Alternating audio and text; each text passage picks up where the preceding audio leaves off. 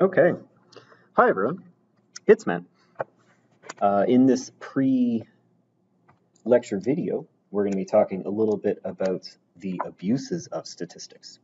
So, so far in class, we've been uh, thinking a little bit about calculating various things. Uh, now that we can uh, calculate a little bit, uh, it's good to take a little bit of time uh, to talk about how one might interpret these different things. Uh, the idea being that this can be done uh, well, but this can also be done badly. Uh, so just to get things started off, there's a few uh, kind of comical, inspirational quotes uh, in here. Uh, in particular, maybe let's look at the last one. so some people use statistics as a drunken man uses lampposts for support rather than illumination. Uh, so the idea here is that instead of deciding, oh, I would like the statistics to support this claim, and then providing any evidence to support your claim, uh, perhaps it would be better to be a little bit impartial and observe the statistics and see what it can illuminate for you. Uh, so, uh, getting into things, we don't want to present data in a misleading way, uh, but data could be represented in a misleading way. This could be because of ignorance. Maybe the person presenting the data just doesn't know. Uh, perhaps carelessness, maybe it was done quickly. Or maybe there's some kind of personal objective. Uh, perhaps the person works for a particular company and the company tells them they're required to achieve uh, some kind of inference about their product. This is uh, somewhere between unethical and flat out evil. Um, there are a couple ways this can happen. Um, that statistics can be abused. Um, and the idea here is that we want uh, you uh, not to make these mistakes uh, yourself, uh, but also you want to be able to recognize these things uh, when you are reading articles or newspaper or seeing things that someone else has reported. You want to be able to recognize these uh, particular kinds of issues like misleading graphs or bad samples. Uh, so we'll go through each of each of these eight here. Let's start with bad samples. Okay, uh, so one big goal in sampling is to select a, a, sample that represents the population. That's maybe the only goal in sampling. Uh, for example, uh, you can have a bad sample if it is too small. Uh, you can imagine if you wanted to know something about all of BCIT students, and you only ask the two of them who happens to be standing next to you in line or something. Uh, this, uh, your data probably can't be used um, at all. It's not reliable and it's certainly not representative. Uh, even if your sample is not super small, if it's a reasonable size, the sample might be biased, so it might not be representative. Uh, so for example, you could ask yourself about the percentage of BCIT students that are female, uh, if you were to maybe take a look at just one particular class, that would not be representative of the whole. Uh, it's easy to believe that um, one class versus another might have uh, different uh, balance here. So, I mean, if you look at something like nursing uh, versus maybe something like CIT, CIT you're likely to get uh, wildly different results. Um, last one here is self-selected survey. So respondents, people responding to your survey are deciding whether or not to be included. Uh, this is another way in which your sample can uh, not be the best. Sometimes this is difficult to avoid. So just from my personal experience, I've run at UBC some student surveys about how long students are reviewing their midterm after they get their midterm back. You can imagine that uh, I send out the survey by email. Uh, students are contacted in the class, and the survey says, Hey, how long did you spend reviewing uh, your midterm? Well, the only students' data that I got are the ones who responded to my email, and so I'm missing out on the particular students who aren't maybe uh, have no desire to respond to their email, don't check their email, aren't very good at checking their email. Uh, you can imagine that maybe uh, the students who aren't responding are taking a little bit less time to review their midterm. Perhaps. We don't know, but um, perhaps this sample is not the best. Uh, sometimes for ethical reasons, I mean, your sample is maybe that's the best you can do, but uh, in general, we want our sample to be as uh, representative as possible of the whole population. Uh, another thing that can happen is if your sample is just flawed. So this example here, a study done of occupation versus age of death, draws the conclusion that students die at an early age. Uh, is it true that uh, you're a dangerous profession, that being a student will be, you'll be more likely to expire as a student than by doing something else? Uh, I think that's probably a bit suspect. That's probably not true. The thing that's going on here is that most students are young. So any students that uh, happen at all to die uh, do so at an early age. It's not necessarily the fact that um, the being a student is dangerous. It's just most students are at an early age. Okay, so let's look now at um, what we're going to call distorted percentages. So you can um, be a little bit misleading in your data depending on how you report percentages. So let's consider the following news headline. So this is an actual headline in the Vancouver Moon uh, saying average property taxes in Vancouver increased by $100, whereas in rural areas it's only up $40. Uh, and the moon proclaims that Vancouver residents are screwed again. Uh, so this is one particular news article talking about property prices. Uh, this smaller paper, uh, Keremeos Echo, uh, this is a small sort of local uh, or small rural area outside of Vancouver. They have a publication saying property tax is up by 10% whereas in Vancouver it's only up by 5%. Why should we uh, pay more?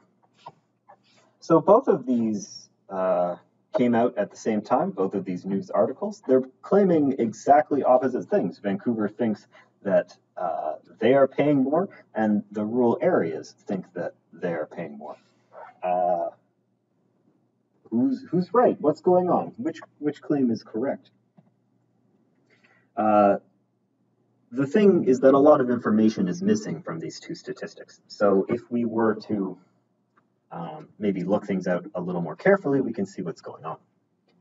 Uh, so, for example, uh, tax last year in Vancouver, maybe average uh, property tax people are paying in Vancouver is about $2,000, whereas in Keremeos, it's uh, only $400. And so this is kind of where our difficulty will come. So uh, in Vancouver, we apparently have an increase of $100 versus an increase of $40. However, uh, if we look at the um, percentages, we'll see something different.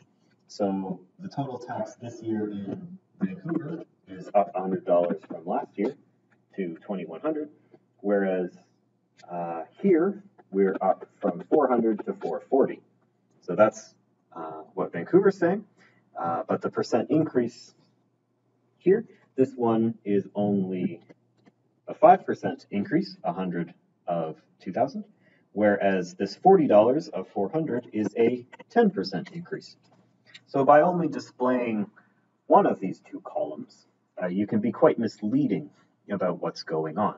Uh, in terms of what you should do in practice, well, probably you should display both. probably you should display all of this information because the fact that the average property tax in Vancouver is higher uh, is kind of distorting the uh, increase versus the percentage. Okay, so uh, the third thing that could happen is uh, displaying some information, but not all of the information. So for example, the quote, 90% of all our cars sold in this country in the last 10 years are still on the road. Uh, that sounds really great. Should I go and buy a car from this manufacturer? Well, if it happens to be the case that the manufacturer uh, has sort of just sold 90% of their cars in the past three years, maybe they weren't making very many cars prior to three years ago, and now they just started making tons of cars. Uh, those cars are only three years old, and so what happens to all the cars before then? It's uh, the, all the cars before three years from now are probably broken. So these, uh, I shouldn't buy this car. It's not going to last long, uh, but it's a little bit misleading here. Uh, them claiming it will last 10 years. Uh, so that's partial pictures, um, which is uh, may or may not be deliberate, uh, but you can imagine deliberate distortions that are coming here. So, for example, Travel Magazine published some results showing that among car rental companies, Avis was the winner of a survey of people who rent cars. But then, when their competitor Hertz requested detailed information, they the, they somehow lost the survey responses. They disappeared uh, somehow, and the magazine survey coordinator resigned. Um, so it uh, sounds here like uh, whatever survey data they had didn't support the claim that they make. Uh, it's a little bit fishy that, oh no, our data has gone missing. okay. Um, so you have to be a little bit careful about who uh, who is reporting uh, and what their claims are uh, if they have some kind of vested interest. Uh, let's move now to leading and loaded questions. So this could happen uh, either deliberately or completely by accident. So you can imagine asking some questions that are leading or biased. Uh, an example of this is something like, do you contribute to charity every month?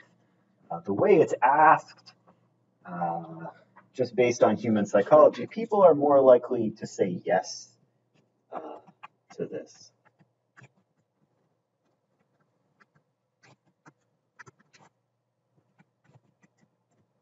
You're more likely, uh, people are just more likely to respond true to this because they want to. Uh, they want to be able to agree that they contribute to charity every month. Maybe they contribute to charity seven months out of 12 in the year and figure, oh no, I, I, I contribute to charity. I'd like to say yes to this. Um, whereas if you ask just the question, how often do you contribute to charity, uh, where they can select how often they do, that will be a little, a little less bias. Uh, it's not that the people are uh, evil or lying on purpose. It's just uh, something about human psychology that makes us want to agree uh, with these kinds of statements. Um, that one you maybe wouldn't know right away. Uh, hopefully, you won't be asking sort of loaded questions in your surveys, something like, do you support the development of atomic weapons that could kill millions of innocent people?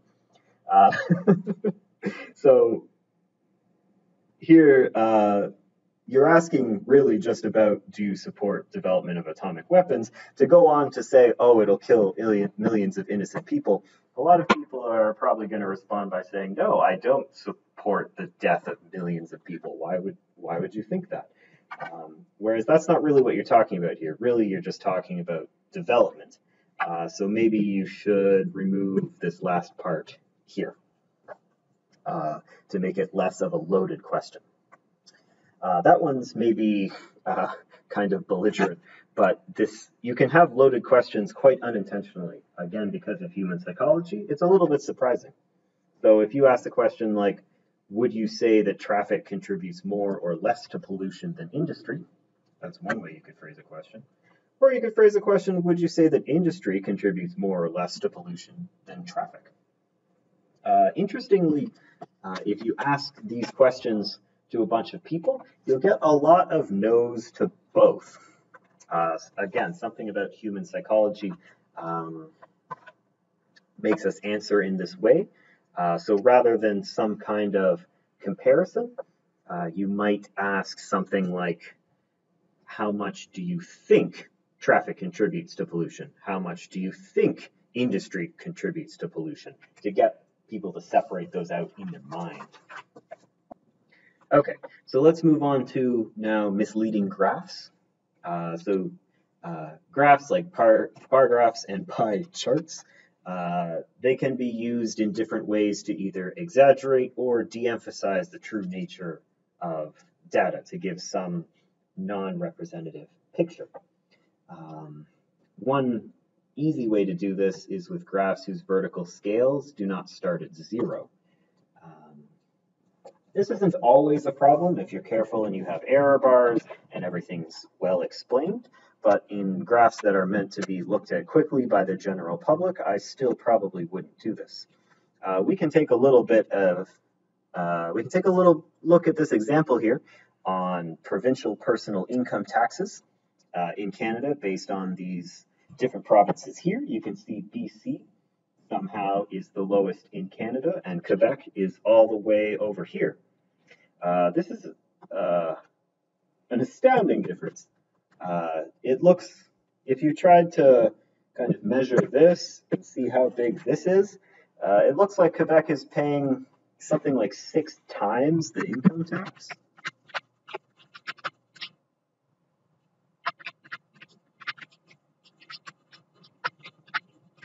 Uh, somehow I find that hard to believe. Uh, the income tax in Quebec is six times larger uh, than in BC.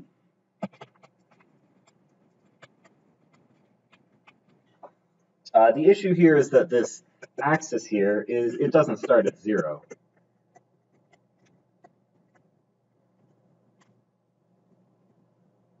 Uh, and we actually don't know what it starts at. Uh, moreover, there's actually no scale here. Uh, this difference, I mean, it's something, but we don't know what it is. Is it $5? I mean, if it's $5, uh, then we're basically all just paying the same uh, personal income tax. So what was the point of this graph? Uh, it's really emphasizing this difference that isn't really a difference. Uh, so that's sort of one extreme example. Let's look at the next example uh, here for salaries, people with bachelor's degrees versus high school degrees. And this one's a little bit better. As you can see, it at least labels the thing. Uh, so if uh, you're to look at this first graph here, at least you can see, ah, this, the bottom is at 20,000, and these numbers here, 24, um, 40 and 4,500 are labeled here. And so yeah, if you look at this for a little bit of time, you can say, ah, that looks a little bit like a difference of about 16,100. Um, and on this graph, it looks like a pretty huge difference. Uh, again, this graph is properly labeled and someone could figure this out. But if you put this in a newspaper or something, uh, and this graph is supposed to be read kind of quickly and easily, uh, perhaps you might prefer this one which gives a more kind of uh, measured difference here between these two bars. This here makes it look like a huge difference. Uh, I'm not saying 16,000 isn't a lot, but um, it's not like the people with bachelor's degrees are making like five times more. Okay, uh, the last thing, uh, second last thing, that we're going to think about is uh, pictographs. So pictographs can maybe be some fun way uh, to try and use drawings to represent things. Uh, you may have seen this before, like money bags or stacks of coins or uh, cows or barrels or houses. Uh, but they can be misleading. So you can look at this, uh, these boxes, of, I guess these are boxes of money. you could take a look at these here, and we've got a small one here and a big one here. And the thing is, uh, is this how much how much more money have we got over here uh, versus over here? So in the big one, we've kind of doubled looks like we've doubled the length, the width, and the height.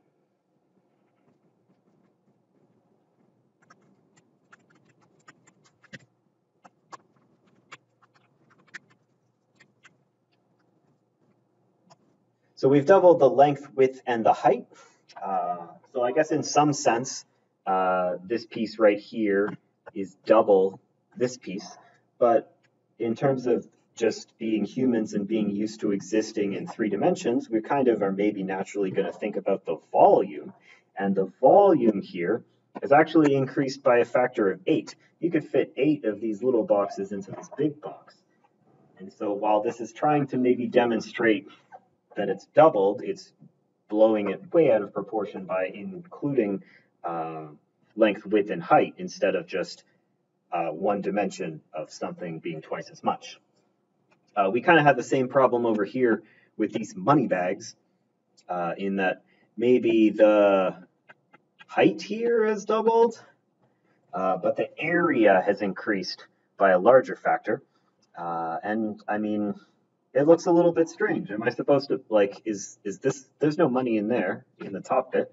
I mean, how am I supposed to interpret uh, this picture? Do I take like the volume inside the bag? Do I take just the length of the height? Uh, it's not really clear what it means and it can be misleading.